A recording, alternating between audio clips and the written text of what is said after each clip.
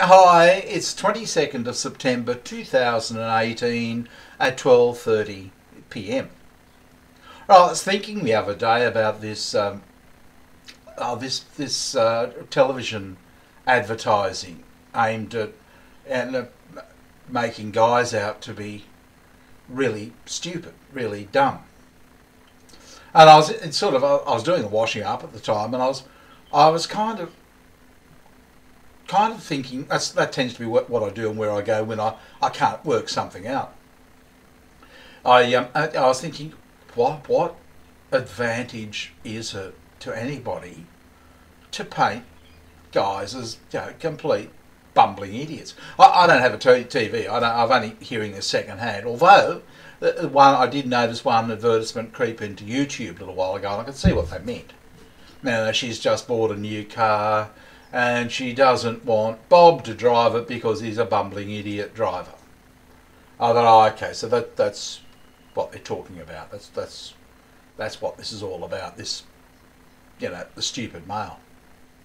And I thought, you know, it's been on my mind to be honest, and I've been thinking, really, what purpose does it solve? Yeah, it it, it you could say that it's cultural Marxism, destroy the the man, destroy you know, the whole male thing, the thing that's bonding us all together and that sort of thing, I thought, yeah, that makes sense. That makes sense. And then I thought about it. I thought, hang on a bit. I, am not saying that's wrong, but I'm also, I thought, maybe the advertisements aren't wrong either. Maybe, maybe they aren't act. Well, they're actors but maybe that's a reflection of how men in marriage really are. You know, I can tell you, after 30 years of marriage, I was a bumbling mess. That's just being plain, flat out, and honest. I was just a. I wouldn't have been able to do 25% of what I can do today. I've, you know, it may look like it's, it's easy. I'm just doing a video and what have you. There's really a lot of work involved in this, and I don't even script it or anything else like that. But there's the thinking about it. There's setting up. There's the technical side of it. You know, there's responding to comments and something. I just could not have done that five years ago. I was a gibbering mess, just like the guy that could barely drive the car anymore. And that's the reality. Is what marriage is doing to men and this is why I think, uh, in uh, truth, uh, you know, there's all sorts of you know excuses for why men go MGTOW. And look, if you've never been married, maybe you've just seen others, but but for men who have been married and been in the situation, it makes a lot of sense to us. It it it's we just can't live like that. We just can't. We it. It's too difficult to produce. Yeah, it's all right if you're not doing anything you know, if, if you're just wealthy or you've just got a really dumbass easy job, yeah, where you you don't have to think much, yeah, it might be a bit of a giggle. Yeah, but but if you're productive and, and having to think and, and be very sensitive to you know changes and what's happening and wonder why this is happening or that's happening or you know what have I got to do here and, and how do I save money there? And you've got this complexity of stuff. You you probably don't need a marriage. You're probably much better out of a marriage much better out of a relationship it has nothing to do with how we feel about women. It's just, it's not a, it, it's just, it's not something that suits your life. As I said, depends what level you are and what, you know, what you can handle and, and, and your makeup, I guess. But it's, it's, um, yeah, for a lot of guys, not for all guys. I'm saying it's for all, but for a lot of guys, yeah, marriage, forget it. And, and it's, but but rather than look at it as being portrayed as something, you know, that it's it's, it's putting men down. It, guys in marriage, it's probably an accurate description of them. Uh, they're, they're they actually um, that's how that's how it becomes. You know, it's, it's not easy to admit. That's where I got to. I was just a total wreck, total total gibbering mess. And typically, what happens after this, I think, what happens is you know, guys go to psychologists, get on antidepressants and that sort of thing, and only makes them worse. Now, I, I weathered the storm, got out of it. Thank goodness I haven't got any. I'm not on any tablets. I didn't see any psychologists. I didn't do any counselling. Yeah, but I mean, I look back at it and I, I can look at it now and think, yeah, and can be honest about it and think, yeah, I was there. That's what that was what was happening to me. Now I think I think there are two reasons for it. Two two underlying reasons. The first one is the constant beratement. I mean, I don't think there's any any doubt about that. You know, you you marry a woman or you, you form a relationship with a woman when she's younger she's sweet and nice. She's got a nice smile. She's got all the dreams. You know, she wants a certain thing, and so you know she zips a lip and doesn't show you her true colours. You're young, ambitious, wanting to do things, and and what have you, and you get together and you don't realise, you don't notice, you don't have a, a lifetime of experience when you're young. You're, you're just going into it, but slowly, slowly it changes. And the longer you stay in the relationship, the worse it becomes. And what starts off probably, I don't know how it starts off, but in the end, it just becomes being screamed at. That's my experience. Now, you can take anybody, take, take a situation, you know, in, in a business or something, you know, in a company, and someone is screaming at someone the whole time. How well do you think they're actually going to perform? You know, and, and yes, you could argue, well, if they're no good, they should leave. Yeah, which is what you do. But, you know, how do you be good at marriage? In all honesty, how do you be good at relationships? You know, where everybody is rude to one another and you just say whatever. You know, what, what happened in my relationship is that they would never ever treat, they would never be seen in in open life in, in front of anybody else behaving like that.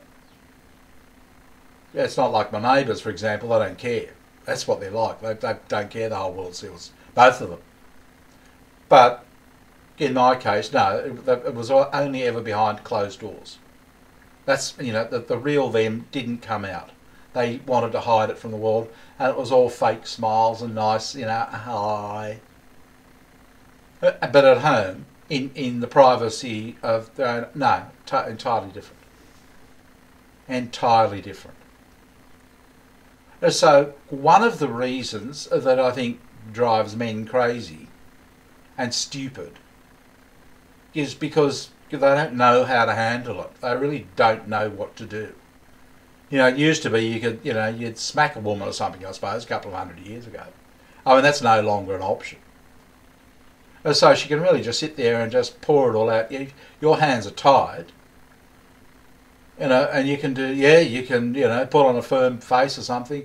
Doesn't matter. They'll just keep coming at you, coming at you, coming at you, coming at you. They just don't care until you just you just don't know what to do. So you you you're left in this this perpetual state the whole time of not knowing what to do.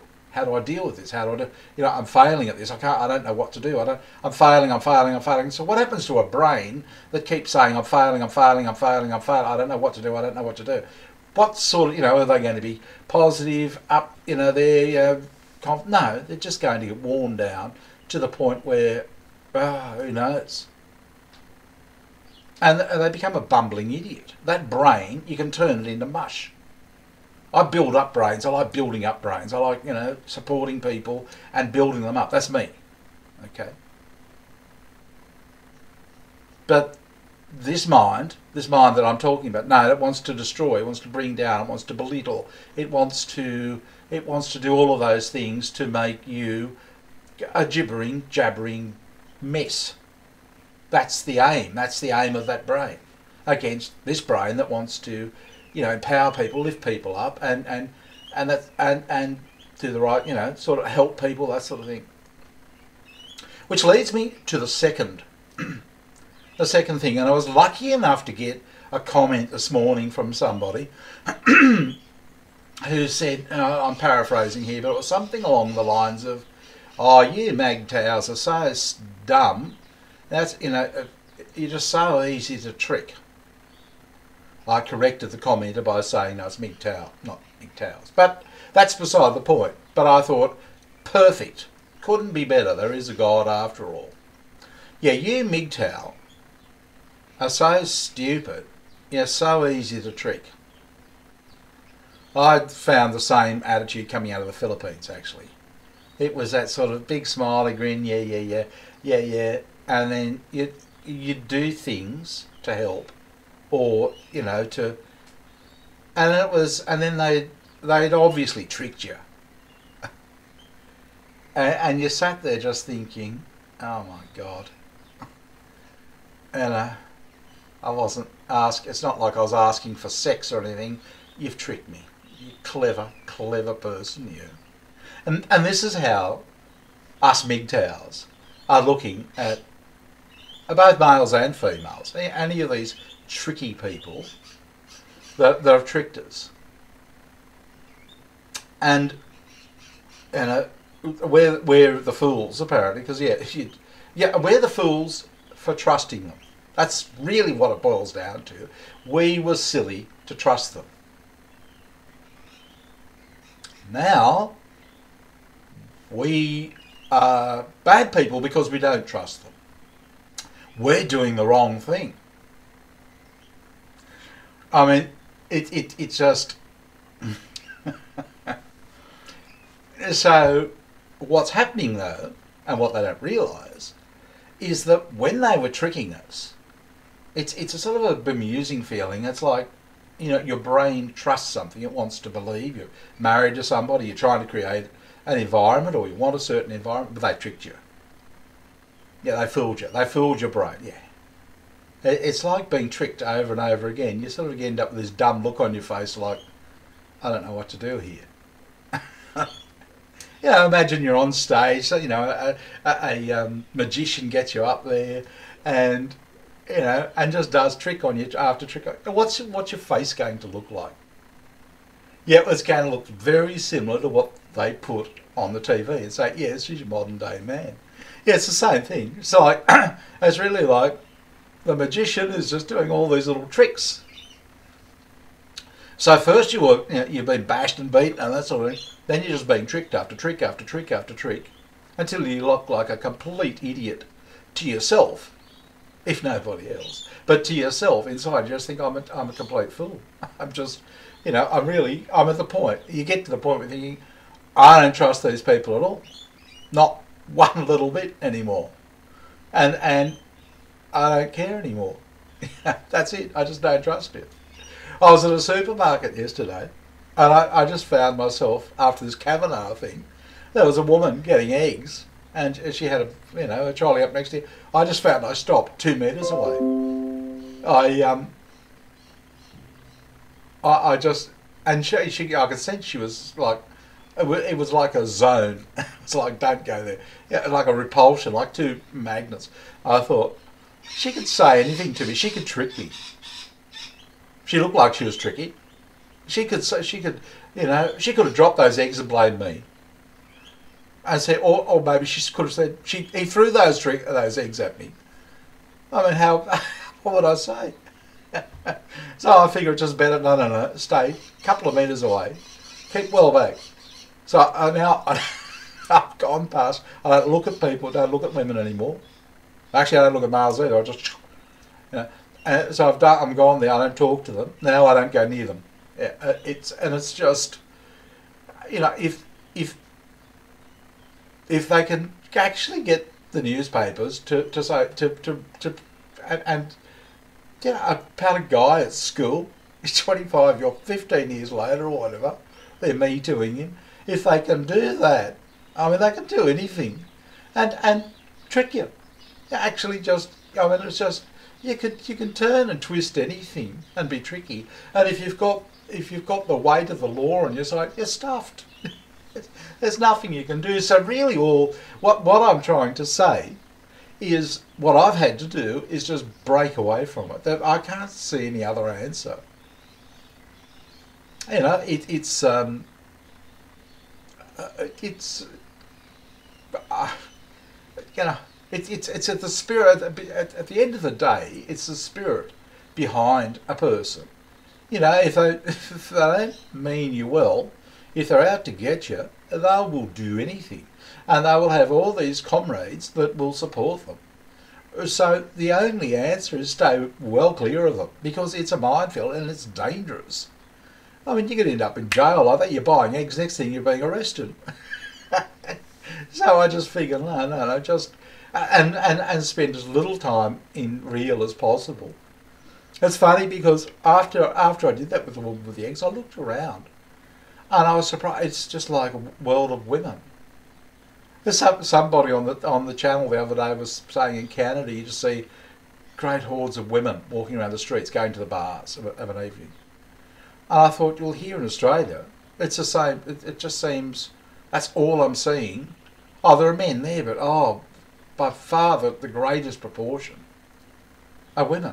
And it used to be sort of equal, even Stevens, yeah, but, now it's just mostly women who shop. Uh, it's like it's like dodging cars. Uh, don't go near one.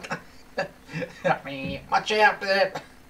Shit, and I, and it's, I don't. I try, try not to make it obvious, but they start. I think they're starting to notice. Yep, just don't go near them. Oh, it'll be 2030, and I'll get this note. You know, you spoke to a woman once. Said, you know, were you after sex? I oh, anyway, I'm just I'm just going on here. Yeah, but but that's what happened. So maybe look at it as you know the, the TV advertising as um, oh it, it's just a, it's actually a mirror of what's happening to married men. That, that's what it's like inside a marriage. Yeah, it just turns you into a complete twit. Yeah. Anyway, good talking to you, and I'll talk to you again soon. Bye.